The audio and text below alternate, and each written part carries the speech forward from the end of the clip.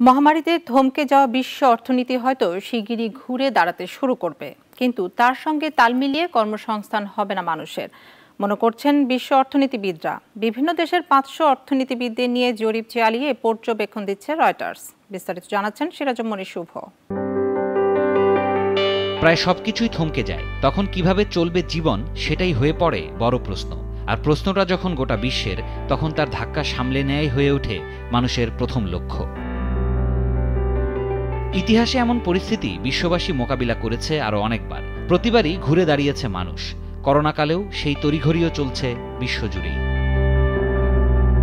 পরিস্থিতিটা এমন যে বিশ্বের বাঘা বাঘা অর্থনীতিবিদরাও ভেমরি খাচ্ছেন। কেউ বলছেন সুদিনের শুরুটা হতে পারে চলতি বছর থেকেই, কেউ কেউ আবার জানাচ্ছেন হতাশা আর আক্ষেপের কথা। তবে সুখবরের পাল্লাই কিছুটা হলেও ভারী।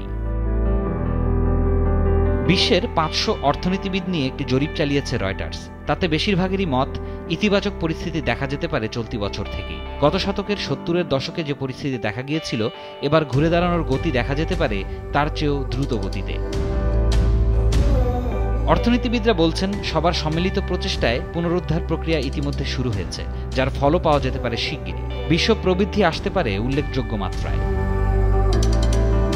জরিপে অংশ নেয়া পঞ্চান্ন শতাংশ অর্থনীতিবিদ বলছেন দু হাজার একুশ সালে বিশ্বের চুয়াল্লিশটি দেশের প্রবৃদ্ধি আসছে। যার মূলে রয়েছে টিকাচালিত পুনরুদ্ধার কার্যক্রম। মূলত যুক্তরাষ্ট্রের অর্থনীতির নেতৃত্বে বৈশ্বিক অর্থনীতি এই পুনরুদ্ধারের গতি পেতে যাচ্ছে। তবে সমানতালে কর্মসংস্থান সৃষ্টি হওয়া নিয়ে সংশয়ে অর্থনীতিবিদরা। চলতি বছর বা পরের বছর বেকারত্বের হার খুব একটা কমবে না বলেই আভাস মিলছে। তবে চলাচলের বিধিনিষেধের কারণে অর্থনীতির অনেক খাতেই এখনও প্রবৃদ্ধি বাধাগ্রস্ত হচ্ছে। এসব খাত সহসাই চাঙ্গা হচ্ছে না, বলছেন অর্থনীতিবিদরা। সিরাজুম্মনি শুভ নাগরিক।